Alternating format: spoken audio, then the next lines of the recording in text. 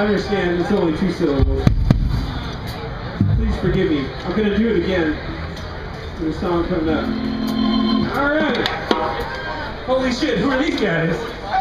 Who let, who let these clowns up here? It was Mike Park. Oh, yeah, focus.